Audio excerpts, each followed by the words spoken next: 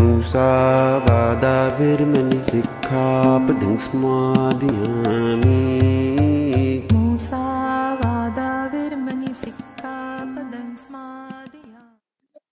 जय भीम नमो बुद्धाय जय संविधान। वी द पीपल समर संघ में आप सभी का स्वागत है। वी द पीपल समर संघ है क्या?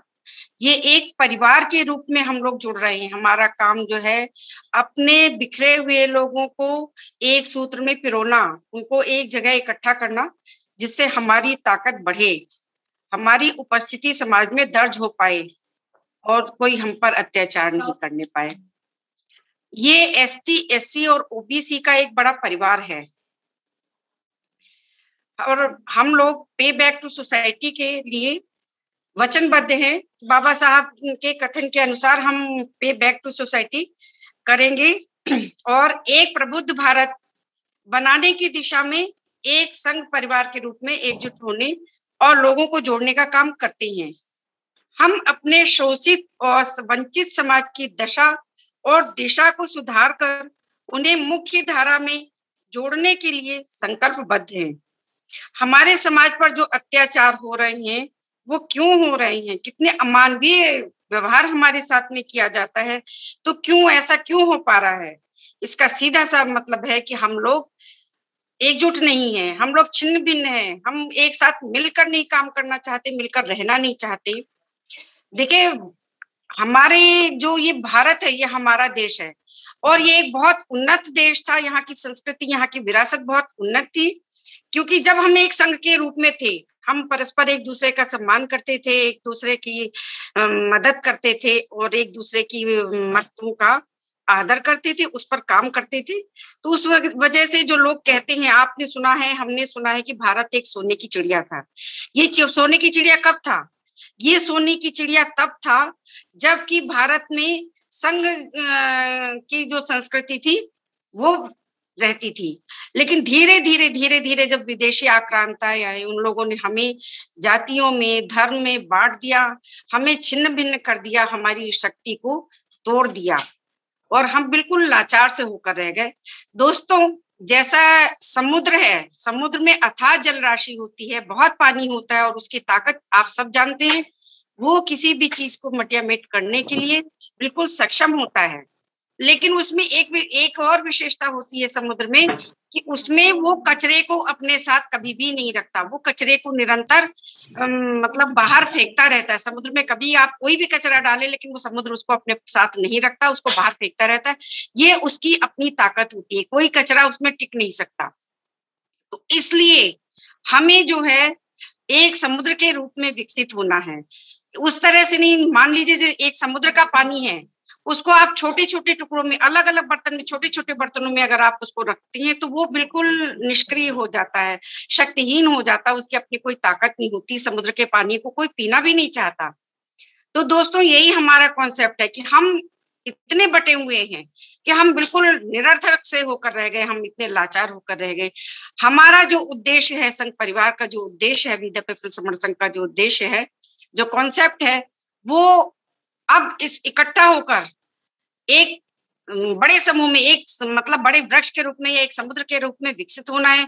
दोस्तों, जब बारिश होती है, जब बारिश की शुरुआत होती है तो क्या होता है कि उसकी दो चार बूंदे ज़मीन पर गिरती हैं और वो सूख जाती हैं। उनका कोई अस्तित्व नहीं होता, लेकिन एक साथ जब पूरी, बहुत सारी बूंदे एक साथ गिरती हैं तो वो एक सैलाब लाती हैं। और सैलाब की ताकत आप सब जानते हैं कि वो किसी भी चीज़ को अपने साथ में बहा ले जाने की ताकत रखता है। तो हमें जो है वो एक सैलाब लाना है, एक वैचारिक क्रांति लानी हमें अपने एकजुट होना क्यों होना है? हमें एक दूसरे का विचार चाहिए। हमें एक दूसरे की सहायता चाहिए और हम में से कोई भी संपूर्ण नहीं होता। हर आदमी में कोई कम, कमी होती है, अगर दस कमी भी होती है तो मेरा मानना उसमें कोई दो अच्छाई भी होती है। हमें उन अच्छाइयों को ग्रहण करना है। हमें समुद्र के पानी को जिस तरह से कचरे को फेंक देता है, उसकी बुराइयों को, अपने आपस के लोगों की बुराइयों को दूर रखना है। उसको हमें ग्रहण नहीं करना है। हमें उन्हें सुधारना भी नहीं है। ये उसका अपना व्यक्तिगत एक मतलब स्वभाव होता है कि वो किन किन चीज़ों के साथ किन किन विचारों के साथ जीता है। लेकिन उसके सकारात्मक विचारों को इकट्ठा करके हमें एक परिवार के रूप में बनना है, बढ़ना है और जीतना है। दोस्तों, जो बढ़ता है, वो जो है, जो जुड़ता है, वही बढ़ता है और जो बढ़ता है, वो जीतता है। हमें जुड़ना है क्योंकि हमें जीतना है। हमें जीतना है क्योंकि हमें ज़िंदा रहना है। दोस्तों, हमारे अस्तित्व पर खतरा मंडरा रहा है। अगर हम अभी भी नहीं जागे, अभी भी हम एकजुट नहीं हुए तो हम समझते, हम कल्पना नहीं कर पाते हैं कि हम कहाँ होंगे। हर दिन का आप देखिए, कितना बुरा हो रहा है हम लोगों के साथ में। लोगों की मंशा, आप खुले हम बता रहे हैं कि आप हमारा नरसंहार करने को आतुर हैं। दोस्तों, अब इकट्ठा हो जाओ प्लीज़ अब कुछ भी हमारे पास नहीं बचा है, हमारे पास खोने के लिए और कुछ नहीं है। अब बस एक चारा है कि हम लोग एक एक जगह इकट्ठा हो जाए। एक बड़े परिवार के रूप में अपनी छोटी छोटी जो शंकाओं को अलग रखें, अपने मन के जो ईगोज हैं उनको छोड़ के एक परिवार के रूप में हम विकसित हो। हम ज़रूर जुड़ेंगे और हम जब जुड़ेंगे तो हम जीतेंगे भी। हम लोगों को जोड़ेंगे तब जीतेंगे भी और हमें जीतने की जिद है, हमें ज़िंदा रहने की जिद है। यही हमारा कॉन्सेप्ट है। इसको आप किसी भी तरह से समझ लीजिए एक ये तो एक प्रकृति का नियम है कि जिस जो चीज़ जुड़ती है वो बढ़ती है और जो बढ़ती है वो शक्तिशाली होती है। बस इतना ही मुझे कहना है। थैंक यू जय भीम नमो बुद्ध है जय संविधान से।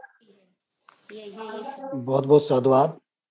अब मैं सुधीर जी से निवेदन करूँगा कि वो बहुत बहुत साधुवाद बहुत बहुत साधुवाद। आपको साहब को बहुत बहुत साधुवाद बहुत अच्छा बोला।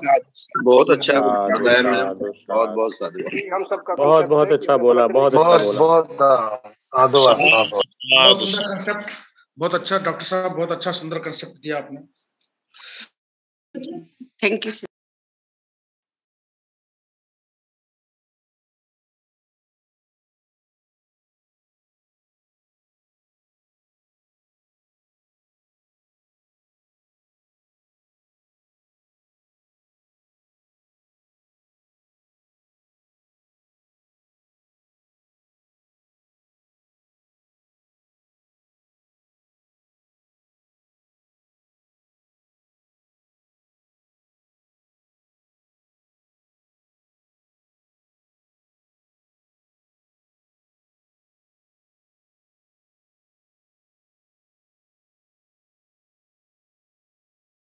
आप सभी से ये निवेदन है कि अगर आपको ये वीडियो अच्छी लगती है या बाकी वीडियो अच्छी लगी हैं, और आपको लगता है कि धम्म की वीडियो किसी को और मिलनी चाहिए या किसी को गिफ्ट में भेजनी चाहिए या किसी भाषा में कन्वर्ट करके आगे बढ़ानी चाहिए या प्रिंट में, किताब में छापनी चाहिए या इसकी जो ऑडियो है उसे निकाल के भेजना चाहिए या इसका किसी पार्ट को इस्तेमाल करना चाहिए तो आपको लिबर्टी है, आपको छूट है। ये सभी कॉपीराइट फ्री हैं।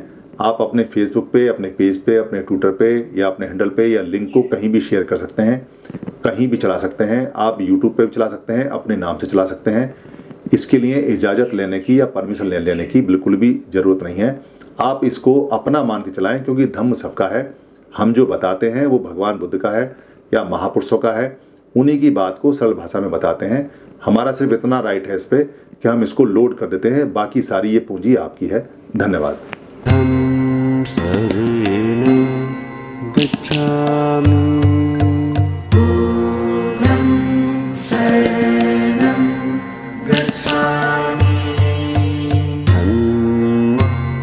सरेण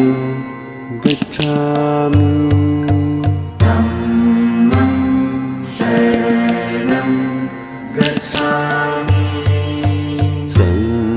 गो शरेण